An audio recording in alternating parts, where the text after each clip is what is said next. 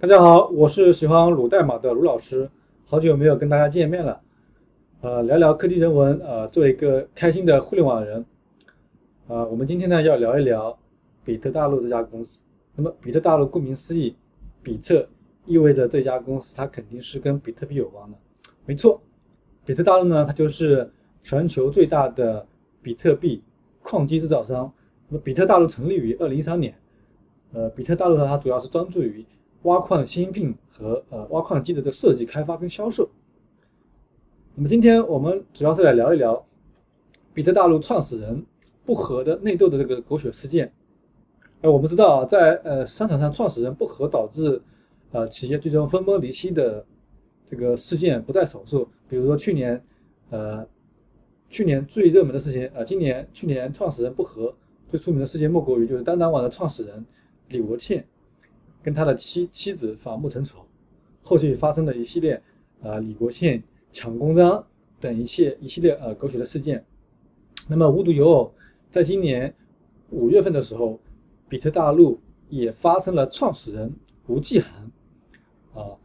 张克团争夺营营业执照的这个内斗事件。从二零一八年开始，呃比特大陆就呃开始了这个呃这个内斗。在呃进一步了解这个内斗之前呢，我们不妨先来看一看吴继涵、张克团他们分别在比特大陆当中，呃，比特大陆的公司的发展进程当中承担着什么样的角色。我们先来呃看看吴，我们先来聊一聊吴吴继涵。那么吴继涵，呃，他本身是一个学霸哈，零九年毕业于北大，在创建比特大陆之前呢，他是在一家呃呃风投公司担任呃分析师和投资经理。那么到了二零一一年的时候呢，他偶然接触到了比特币，首个将比特呃，他首个将呃中本聪比特币白皮书翻译成中文的人。那张克团呢，他毕业于呃，张克团呢毕业于中国科学院，他研究生毕业之后呢，一直从事呃集成电路这个设计的工作，对呃芯片这个行业是芯片这个行啊是芯片设计这个行业的专家。那么吴继航跟张克团这两个人怎么认识的呢？就在呃二零零九年的时候，我们知道中本聪研究出了比特币，在二零一一年的时候，呃，吴继航接触比特币之后，他就非常看好比特币，啊，然后他发光了，然后他花光了他的所有的积蓄购买比特币，比特币升值之后，那么吴吴吴继航他也呃完成了原始资本的一个积累啊，呃，毕竟这个呃吴吴继航他毕竟是北大毕业的这个高材生啊，智商非常高。他发生了一个商，他发现了一个商机，就是说可以产生，可以去挖掘比特币的一个矿机，但是他本人又不是技术出身的。后来呢，他是通过朋友，在一三年的时候认识了在清华大学工作的张克团，啊，两个人一拍即合，从此就开始了呃比特大陆创业的这个传奇的故事。那么吴吴继航毕业于北大经济学院，所以他很擅长这个市场营销。张克团呢，他是比特大陆的技术之脑。呃，两个人，一个分管市场、财务和上市，另外一个呃负责技术研发、生产。其实两个人是非常的互补的啊。呃，我们可以从那个天眼查数据来看，就是说，在二零一七年八月份的时候，呃，比特币大陆完成了呃 A 轮五千万美元的融资，在二零一八年七月份的时候，完成了 B 轮接近三个亿美元的 B 轮融资，在一八年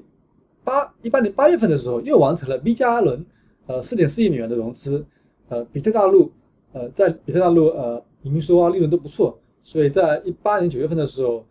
比特大陆开始向港交所提交，呃，招股书，准备上市，但是仅仅在过了两个月之后，吴继航跟张克团两个人的矛盾就逐渐升级了，并演变成了一场，呃，非常狗血，甚至是说是扑朔迷离的一个权力之争。那么吴章这两个人呢，主要的分歧主要在于，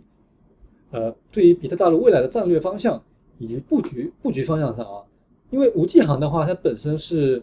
呃，非常钟情于，呃，看好这个区块链，他希望能够带领这个比特币大陆比特大陆往区块链行业这个发展，但是张克团他，呃，不太愿意去做呃 VCH 或者说是区块链，他更希望比特大陆能够转形成一家。呃，AI 人工智能的一个巨头，然后在这个巨大的分歧之下，两个人呢分别，呃，投入呃巨资啊到各自呃看好的领域，呃，但这些投入投入的话，其实在短期之内并没有给呃比特币大大陆带来很好的回报。那么在二零一八年下半年的时候，我们知道那个时候呃加密的数字货币直线的下降，比特大陆整个业绩也是相当不好的。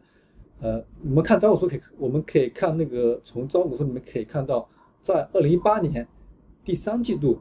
比特大比特大陆大概大约是亏损五亿美元。从呃二零一八年十一月开始，呃比特大陆开展了一系列的人事调整。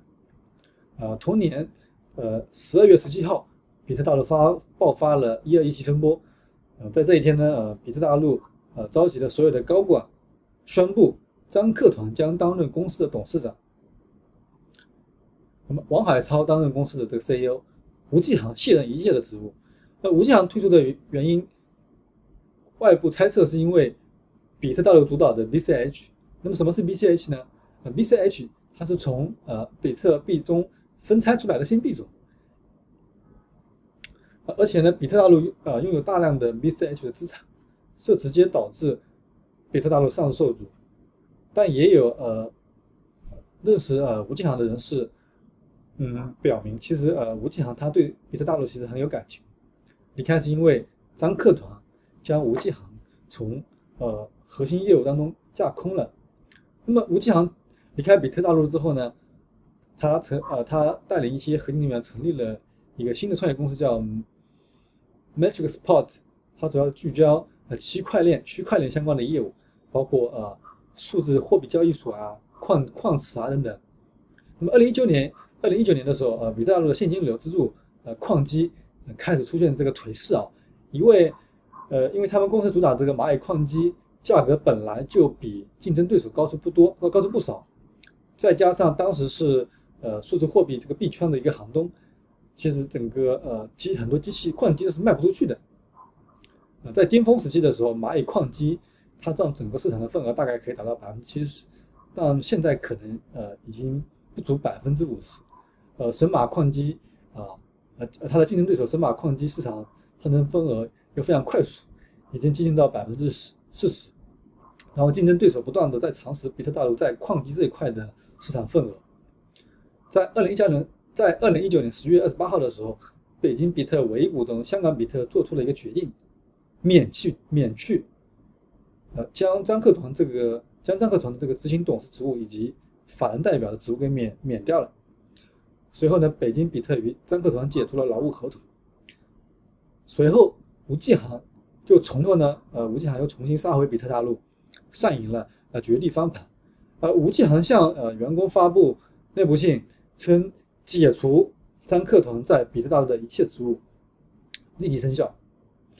呃，吴吴继航对呃比特大陆大刀阔斧之际呢，张克团他本身也没有闲着，在今年五月八八号的时候呢。他在，呃，呃，他他因为这个抢这个，这因为在工厂所抢这个营业执照啊，这个事情，大家可能也看到这个新闻了，呃，呃，比特大陆这个内斗的话，我们都知道，呃，它的原因是因为两个创始人对公司未来发展的战略的方向决策有不同的分歧。那么根据，呃，此前比特大陆招股书，我们可以知道，张克团其实是第一股东，他持有大约百分。大约是四十亿股的密股，占百分之三十六，远远超过吴启航的百分之二十的股份股权。那为什么张克团会占有这么高的呃股份的比例呢？是因为他呃当时呃他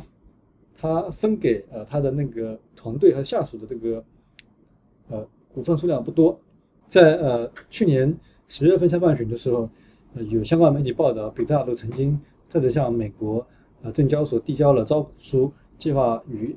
呃二零二零年初完成上市，募集五亿左右的资金，但是呃目前为止这个消息就没有得到呃，到目前申请到目前为止没有进一步的一个消息。我我我我想呃影响比特币大陆上市的原因可能有多多个方面，呃比如说呃区块链行业陷入寒冬，整个呃数字货币行业呃陷入寒冬，整个数字行业数字货币行业不佳，影响了矿机的一个销量产能。同时呢，比特大陆自身呃内斗裁员，也影响了大外界对呃比特大陆的一个信心。比特大陆想要完成 IPO 这个呃呃来看，呃目前来看其实是比较困难的。